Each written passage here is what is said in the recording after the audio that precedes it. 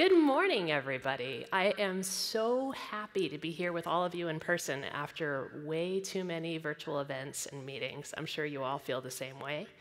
I'm also extremely happy to be kicking off day two of Reinforce with, with this group and talking about identity. I'm here today with Bridget Johnson, who's going to join us later. She's the general manager of Access Analyzer. Uh, she's also an expert on access management. If you follow her on Twitter, you know all about her expert advice. And she's a rider of Pickles the horse, whom you will meet, at least visually, during the presentation. Um, she's also an overall enthusiast for fine-grained access management, which I'm sure you'll appreciate as she joins me on stage. Let me give you a little sense of what to expect from the session today. Here's what we're hoping you'll take away. First, how is identity and access control central to achieving the security posture you want in the cloud? Then we're going to share the latest in identity capabilities that make it easier for you to centrally manage identities in AWS. And then Bridget will help us understand how can you refine your permissions using access analysis on your journey toward least privilege, which is always a best practice for permissions. So let's dig in. I'm sure you are all aware at the foundation, AWS is designed to help customers build applications that are secure, resilient, performant, and efficient. Security is just fundamental to how we design and build our infrastructure and services. That's, that's job zero for us. And then we build security solutions to help you implement and maintain your optimal security posture on top of that infrastructure. Identity and access control is at the center of cloud security. I like to say that security starts with access control. If you went to the keynote yesterday, you heard CJ Moses, our CISO, give a really good example of this. He said, if you prevent your administrators from having access to critical, critical corporate data, guess what? You've automatically prevented any attacker from getting access to that data, even if they, on some unfortunate circumstance, happen to get access to your administrative credentials. So that sort of helps you understand that access controls and permissions address the prevent part of a cloud security model. But identity integrates with several other services in AWS's security portfolio to enable a complete cloud security model from prevent all the way through to detect and remediate. For example, in AWS Security Hub, we surface findings from Access Analyzer. Um, you or other security professionals in your organization can thus get an overall view of security in Security Hub, including the identity aspects. Um, one of my favorite examples of this is an Amazon Detective, uh, perhaps there's some anomalous event that you need to investigate to understand if it was a security incident. And Amazon Detective lets you investigate exactly who was taking what actions during that event because it traces the role session th through AWS to see what actions were taken through that session, even if additional roles were assumed. So you can see that we're looking at this holistically, how identity fits into the security of your environment and the, the security actions you need to take. So to make sure we're all grounded, what is an identity in AWS? You have many types of identities who need to do things in AWS. They're people, they're applications, they're AWS services that may be acting on your behalf. So I like to say that identities in AWS are people or applications that can make a request for an action or an operation on an AWS service or an AWS resource or an AWS application. We sometimes use the word principal to refer to any entity that authenticates in AWS and makes requests to take those actions. And this seems like a good moment to make sure that we start with the most important best practice for all of those identities. First and foremost, enable multi-factor authentication to strengthen the security for your credentials. As you've likely heard it reinforce already, we're working to make it easier for you to, do, to apply MFA. For example, we've set up an ordering portal so you can participate in our free MFA token program. You can learn more about that at, on the show floor if you haven't already. Um, similarly, we recently extended support for MFA keys to the Safari browser if that's your browser of choice, and we're continuing to invest to make it easier to apply MFA and enforce it for your users. But while we're on MFA, just applying it is the first step. One of the places you're going to apply it is to your root credentials. All AWS accounts have root credentials. And once you've applied it, tuck those away. We do not recommend that you use those powerful root credentials for your daily tasks. So once you've secured them, make sure you have an IAM role that you can actually use for your job at hand. And I did say IAM role on purpose because IAM roles are really great for security. They, offer, they provide short-term credentials, temporary credentials, so that you, could, you, so that you have the protection of just them lasting as long as you've configured them, perhaps a couple hours. Um, in contrast, if you use long-term credentials, you have extra work to do. You have to secure them and rotate them, and so it's less effort to work with short-term credentials. To me, this is like the perfect combination of steps. Make sure MFA is in place, make sure you have your roles set up, and take advantage of the temporary credentials that they provide. One of the things that I really enjoy about Reinforce is getting a chance to talk to customers. It's something that we do year round, although here we get to actually meet you, all of you in, purpose, in, in person. Um, we hear from customers that you value several things about working with AWS Identity, uh, and especially as you grow. Um, for example, one of the things you tell us is you actually have a growing number of identities. You may be hiring more employees, launching more applications, and so the fact that we provide support in our services as you scale and support for open standards that makes it easier for you to integrate those identities is something that really works well for you. And it's not just your identities that are growing, it's also your resources. Um, so you, you tell us that you value the ability to group your resources in ways that let you logically reason about access to them. For example, you might define an application using Service Catalog App Registry. You might then define accounts separate accounts that have a built-in security boundary for this each stage of that, of that application as you build, test, and deploy it for operation and production. And you might even define more granular resource groups, perhaps a component of that application or a set of related resources in that application so that you can manage access just for that type of app, that, just for that type of resource or group of resources. So that gives you your, a way to manage your identities as they grow and a way to manage your resources as they grow.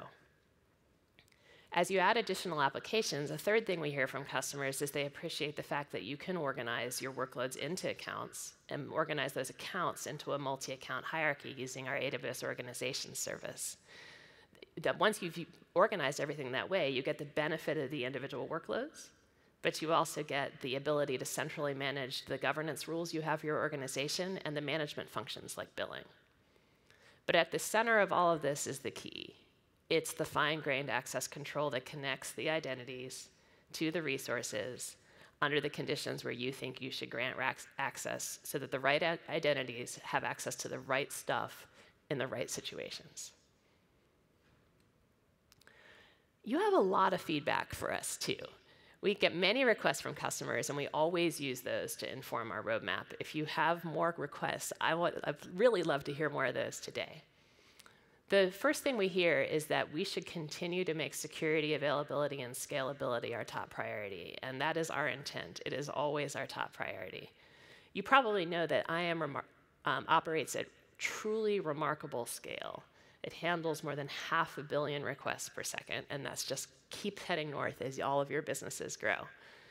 Um, we ensure the security of AWS, and then we provide the capabilities to you that enable you to configure secure access on top of that. The other thing we hear from you is that you really appreciate how fine-grained our access control is because you can fine-tune it down to the exact permissions you want to grant.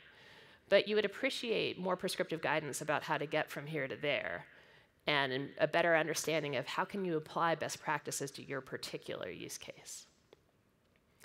And a key theme that I've heard recently, especially increasing as, as, AWS capabilities expand, is please streamline the experience. Please bring this stuff together to make it easier for all the different people and different types of jobs who use identity to get their tasks done.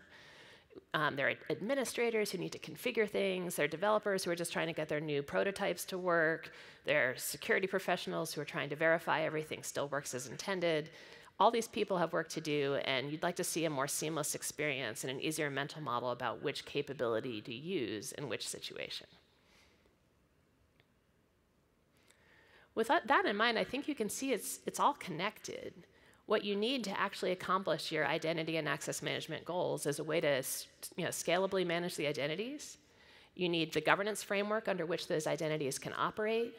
You need the permissions that define what those identities can access and the access analysis capabilities that, that let you verify that the access matches your intent. And once you've got this whole picture together, hopefully it comes up into that balance bridge you can see here on the screen. And this combination is why I'm super excited that we've announced IAM Identity Center. It's the successor to AWS Single Sign-On, or AWS SSO.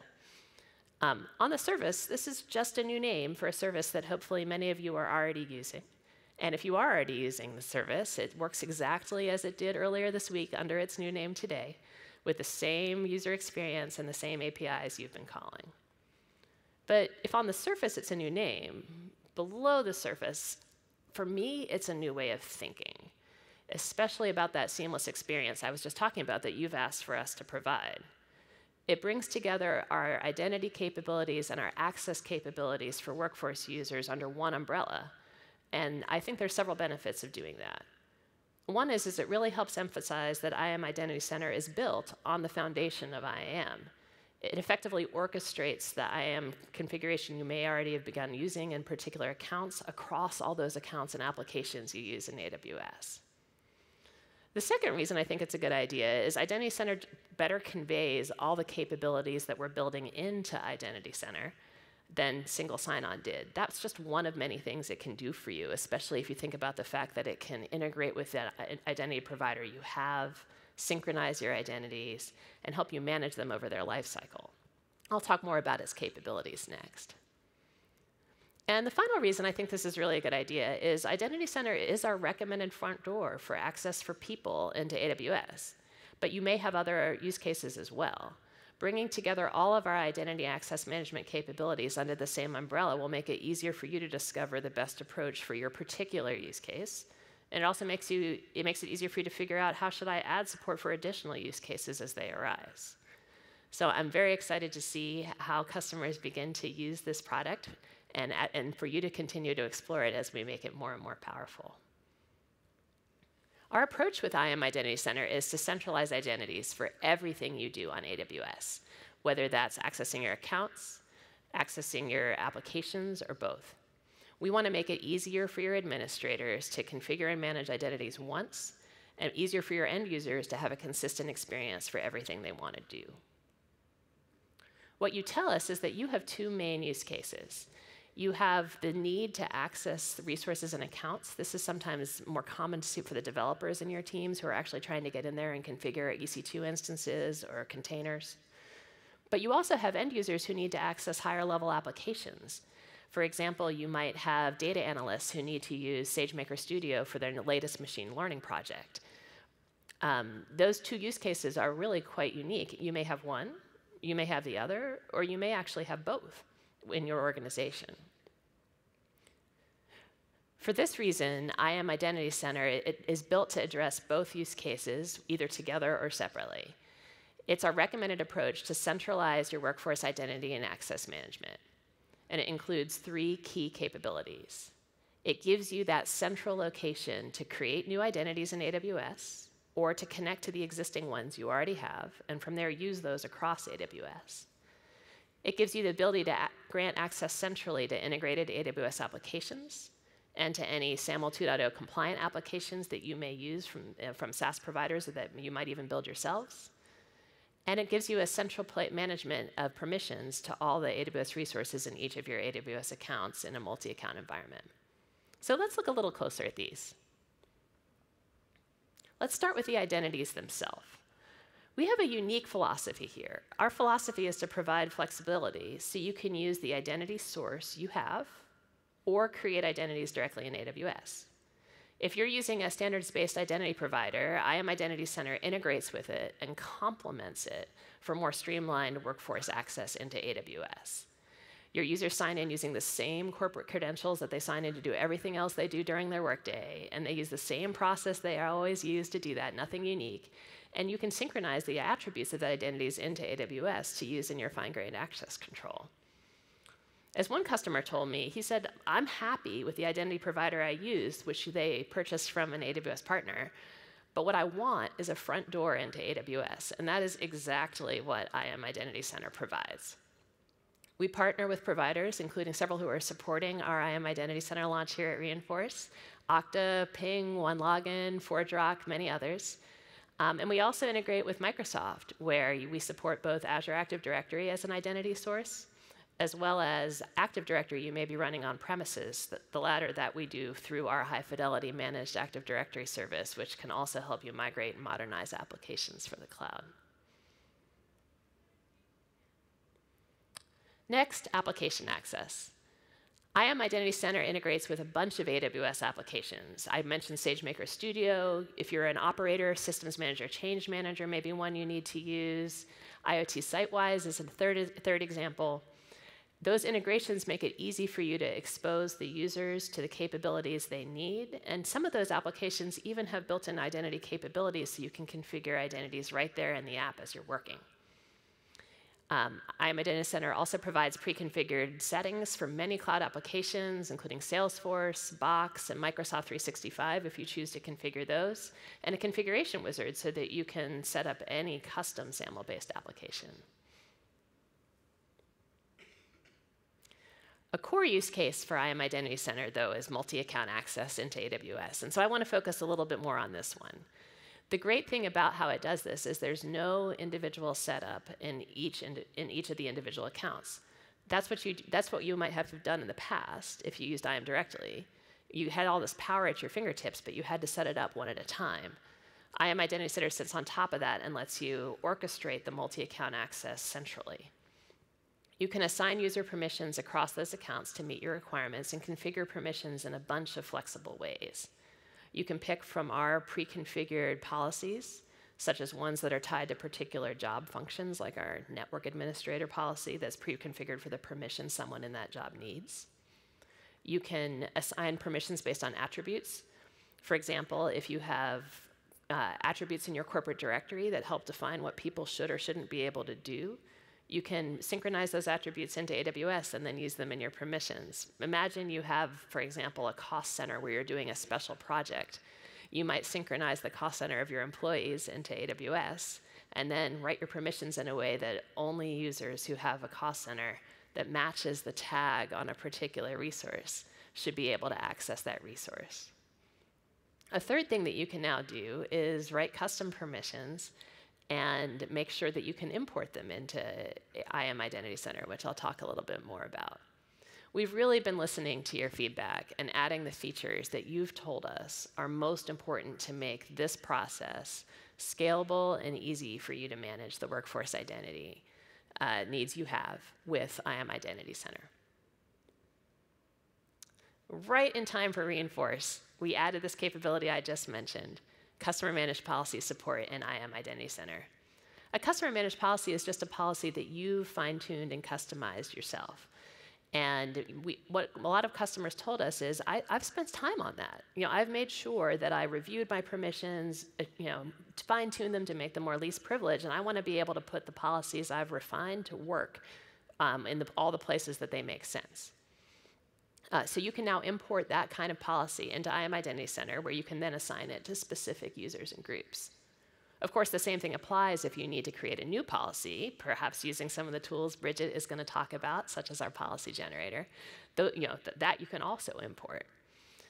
Um, one customer told me uh, earlier this week at Reinforce that his team got started on this right away. They were so excited that they were able to reuse their policies that they knew this would make it easier for them to scale and assign permissions, the, the right permissions to the right users.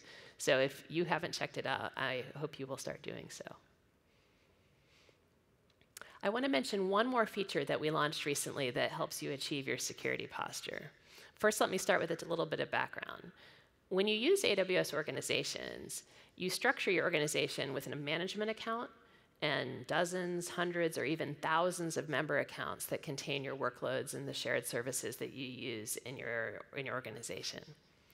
Because the management account is extra powerful, the best practice is just don't use it. Don't do a lot of work there, don't provide a lot of access to it.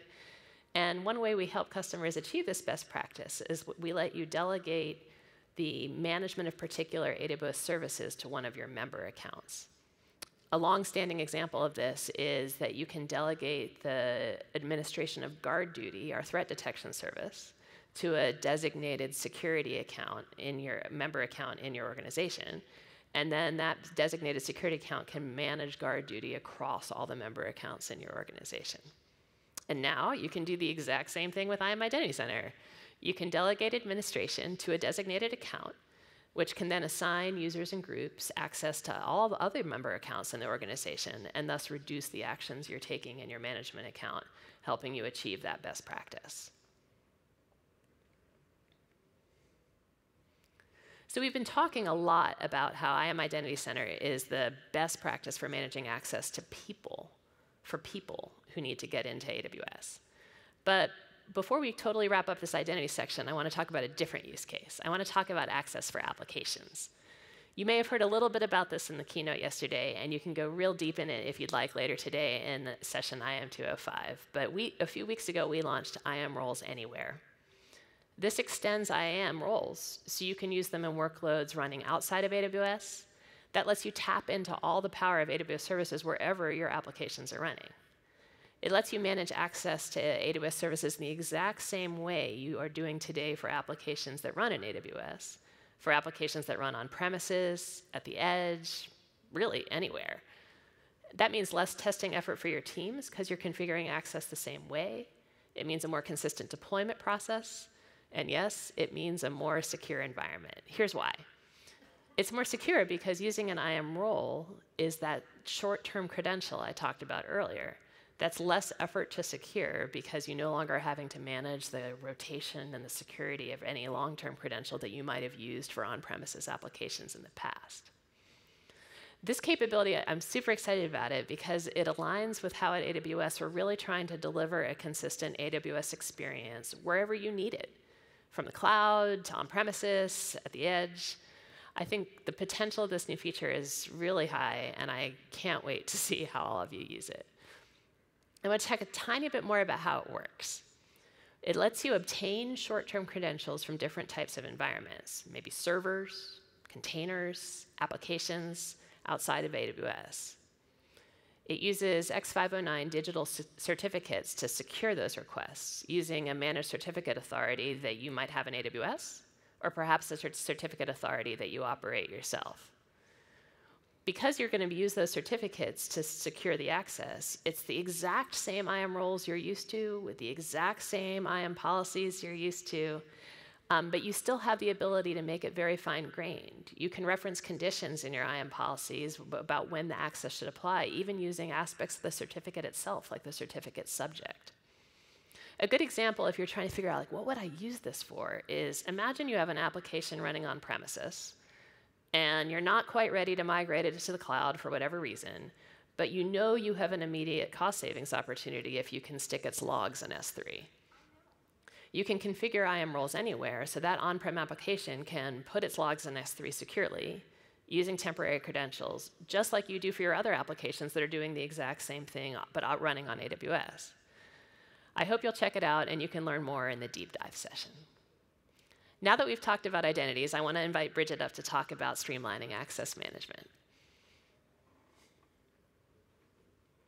Which hopefully she will do. Don't worry. Here you go. Have fun. Thank you. Thanks, Karen, for sharing all of those wonderful identity updates. My favorite happened to be about customer managed policies. You all know that I love policies and access management. So we are going to dive into streamlining access management for agility. And why do you want to think about this? Because you want to do the right thing for your business, for your business requirements, but you want your engineers to also be able to innovate and build and have agility to build things for your business.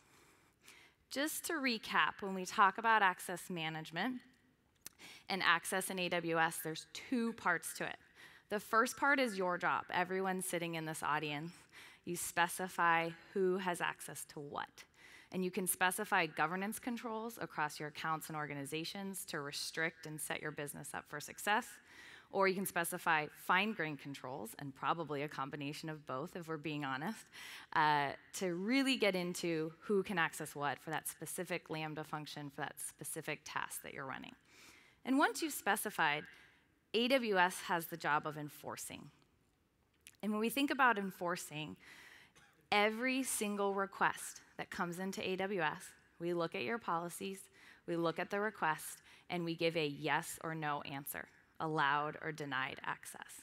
That's a lot of requests, and that's a lot of enforcing of permissions. Our job is also to help you specify those access controls and make it easier so you know that you got the right permissions.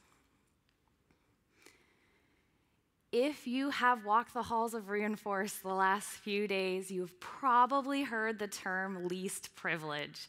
It's something when we talk about permissions, we love to talk about. And it's about granting users and systems uh, a set of privileges to complete the required task. But there's a balance here, and I want to talk about that term required task because that is going, your requirements are going to be different based on your different use cases. In development, you might want to have developers build and play a little bit and explore, right? When we're building out new systems, they want to try new things. However, when you get to production, those permissions better be locked down pretty tight. And so there's a balance um, and you can work towards it. Getting to least privilege is a journey, and that's what we're here to talk about today. And one way to start when you think about access management and your strategy for your business is you want to think about your account strategy. And an account is a resource container, a security boundary, cost tracking and billing, and it helps you enforce limits and thresholds. You want to use multiple accounts. Let your teams have counts. Maybe it's separate regions, maybe it's separate environments, development, production, different uh, projects. Think about how you're going to use multi account to set your organization up for success. But because you have multiple accounts, you're going to want to use organizations. Organizations helps you manage multiple accounts. You can group them together. You can put them um, uh, into different uh, groups that allow you to govern across them. I do want to point out that with organizations, there are dozens of integrations, so you can govern across your whole environment. You can turn on CloudTrail, GuardDuty, AWS Config, and lots of other integrations with more on the way. If you haven't checked out the latest list, um, I recommend you go back and, and look at what is there today. But the other thing with organizations you want to think about, and this is something that as you evolve in your AWS journey and you become more mature and you add more accounts, you want to think about how are you grouping them together. And I highly recommend this white paper, which is organizing your AWS environment using multiple accounts. It talks about strategies, and it might be a little different than you expect. Some customers think we should do it based on business unit, but it's really about the governing controls that you want to establish across your organization.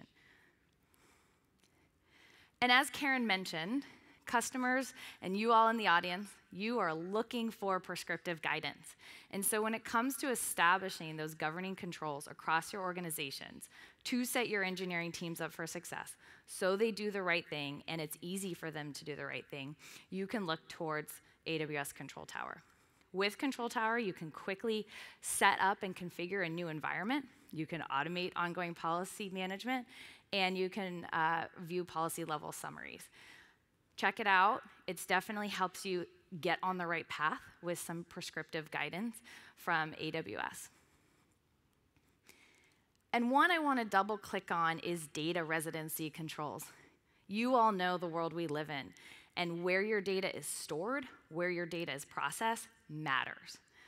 And you want to make sure you have the right controls and governance controls to set your teams up for success. So they operate in the right places and they have the data in the right place. So with Control Tower, you can specify the region or regions that you want to operate in and choose from over 17 new guardrails purpose built for granular control. And with Control Tower, you can see the compliance of those guardrails across your environment. All right, another coarse grained control when we think about governing access for your entire AWS environment is establishing a data perimeter. And this is where we've been investing a lot of resources into helping you get to the right data perimeter for your business. When we think about a data perimeter, you think about things that belong to me and things that don't belong to me. And that is what you want to put that perimeter around that green box that we see here on the left. So, what is a data perimeter? How do we describe it? A data perimeter is your trusted identities are accessing your trusted resources from your expected networks. It is three parts identities Karen just talked a lot about identities. Those are the principals, the roles, the users in your accounts or AWS services acting on your behalf. The resources are your resources in your account or the resources that AWS is managing on your behalf. And expected networks are your on premises or your uh, virtual private clouds. And you want to make sure that's all included in your data perimeter. And that will also set your teams up for success because that means your data is staying in your perimeter. Your stuff is your stuff. There are workshops, there are blog posts, there's documentation on data perimeters. We've made a lot of headway because we provided the controls and now we help you put those controls together to establish that perimeter. So go check it out. Okay, so now you've set up success by having governing controls, your data perimeters, data residency controls, and that establishes those guardrails, kind of like those bumpers when you talk about access management. But here's the fun part, right? This is when you get to go into the fine grained within those accounts, and you get to specify who can access what. You can specify which principals can access which services, which actions, on which resources, and under which conditions. You can get very, very fine grained in permissions with AWS, and it is very powerful and tons of fun. Speaking of conditions, it's one of my favorite ways to control access. You think about I can grant access, but only if. So you can write policies that say you can create a Lambda function, but only if you're using CloudFormation. That way, all of your code is stored in there, it's code reviewed, it's deployed um, as infrastructure as code. You can say, only allow these certain actions, but only if they're by an AWS service, right? That means the, your developers have to use the AWS service uh, to, to deploy infrastructure or to, to get a project up and running. Or you can say, only allow writing data but only if the resource is in my organization. That goes back to the data perimeter that we talked about. We are constantly adding new condition keys. You'll see service specific condition keys, you'll see AWS wide condition keys, and these are to help you get to the right access. But how do you get to the right access? It does not happen overnight. Why doesn't it happen overnight or in an hour? Well, because you don't know what you need when you get started. And so it is an evolution, it is a process, it is a journey. And I like to think of the permission life cycle to get to the right permissions. You set permissions, you verify they match your intent, and you refine what you don't need. And it continues as you grow, as you mature. So let's talk about setting permissions. And here we have Pickles, who's my horse, and he is on a journey. This year we took him to the beach, so he was on a journey to learn how to walk on the beach. A little scary at first, but he got it. And speaking of that journey, when you're at AWS, you might start with broader permissions. And you can use AWS Managed Policy to get started, or a lot of customers use custom templates that they say these are the approved services you can use. And that's when you're exploring AWS. But you don't want to stay there. You want to keep moving forward and you want to work towards right sizing your permissions. If you have workloads or specific tasks, you want to get to that fine grained permission where you specify specific actions and resources. And that's where you can use policy generation with IAM Access Analyzer to help you along that path. With policy generation, we look at what you performed and generate a policy for you. All right, so maybe that's not good enough. You really want to get super fine grained and use those conditions I talked about. Well, there's a DIY model, do it yourself, and you can author custom policies, but we still have your back. We provide policy validation with Access Analyzer, and there's a, over 100 checks to make sure you have secure and functional policies. All right, policy generation. This was a feature we launched in 2021, so if you haven't checked it out, I highly recommend it. But here's how it works you run your application or your task. In my organization, our engineers actually ran a run book um, to, to take an action, uh, to perform a task. And then they went to Access Analyzer. They said, hey, Access Analyzer, can you, can you create me a policy, please? And uh, they didn't actually have to say please in the command line. That was just a nice thing to add. Anyway, Access Analyzer gets to work. It goes, looks at your CloudTrail, sees what you need, and then gives you a policy, and you can customize further. When I'm talking about you here, I'm actually talking about the development teams.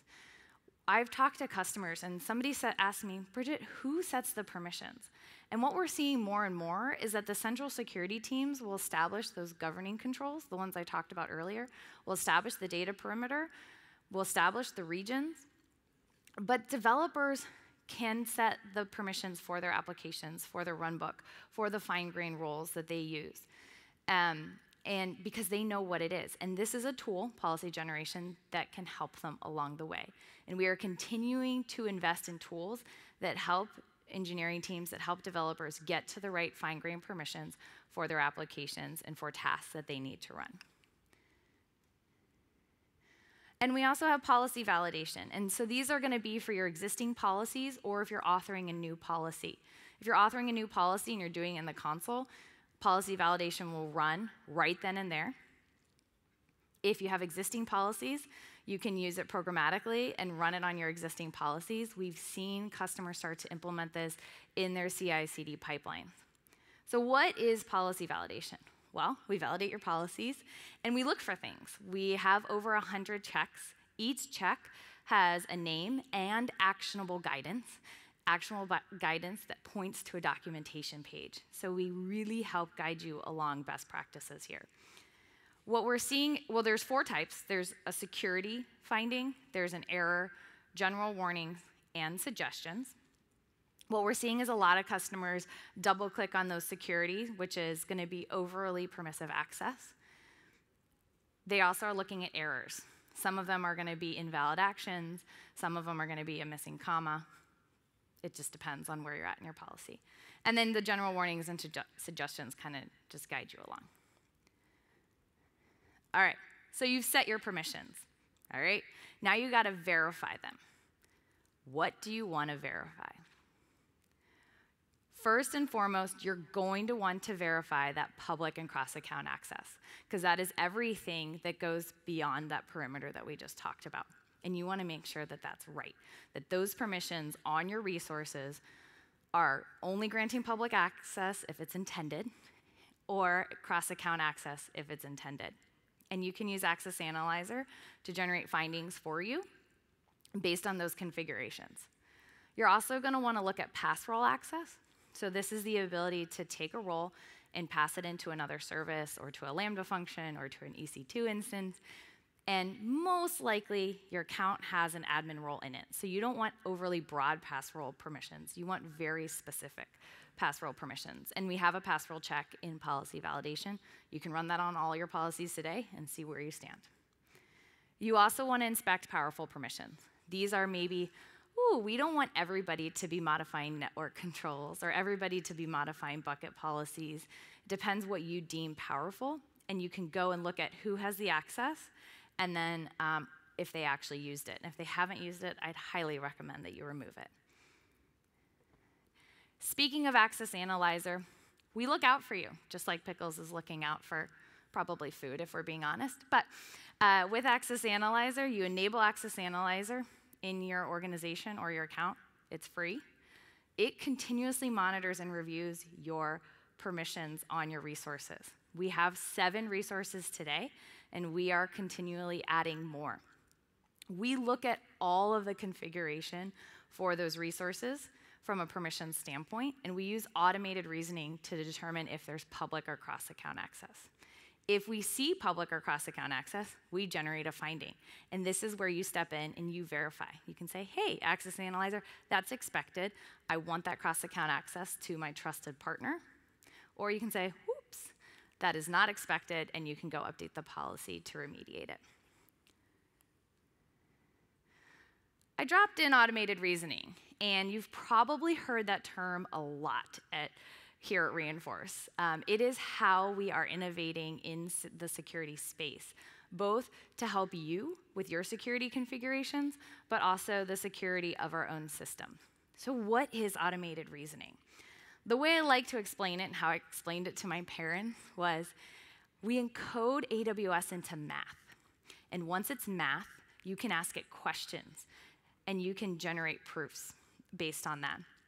And I, I, I think it was in high school, uh, I did the, you know, the, the proofs, and then you finally get a therefore. And once you get a therefore, you can make a universal statement. So if we think of reasoning as applying logic to a new conclusion, then automated reasoning is to reason about an infinite number of paths.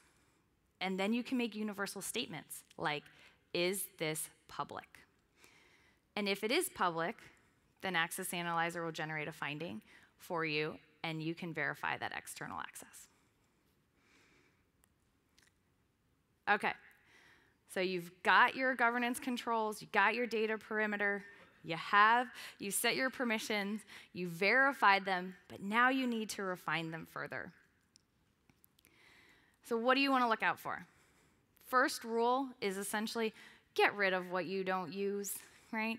You probably have roles lying around, you probably have IAM users lying around that you haven't used. You can use role last uh, used and access key last used to, to see the last time you used it.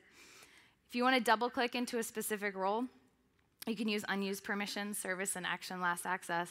Or, and uh, I recently talked to a customer who didn't know we had this feature, so I want to make sure I, I call it out, is that if you are trying to establish those governance controls, you can see the last access information across your accounts, your OUs, and your organization. So you can go in and see that you didn't use a specific service, and if you're not using it, you don't plan on using it, you can just restrict it so you never have to worry about it. When we think about uh, cleaning up things that we haven't used, that reduces the risk, right? That helps you have a better security posture.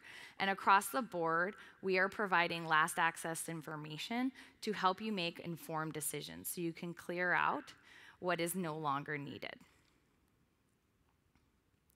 All right, I talked a lot about permissions, which is wonderful, and I said a lot of shoulds, like Think about your account strategy, set up guardrails, get to fine grained access, use the tools in Access Analyzer to help you do that. But they are all written down, so you don't have to take a bunch of pictures of slides. You can go to the IAM best practices. We recently revamped them. There are 14 of them. And if you look at it, spans across identity and access, and we'll continue to add more. Uh, we talk about short term credentials, something Karen mentioned. We talked about uh, your root user credentials and applying MFA. We talked about least privilege, and then the tools to help you get there policy generation, policy validation, and using conditions along the way. So check those out. There's more information on the documentation page with links to helpful how to's. Here are some additional uh, resources that you can use um, something, some things that I talked about. And I would like to say thank you. Thank you for your time today. Thank you for thinking about your identity and access management strategy to help your teams build and innovate on AWS while setting them up for success. Yay!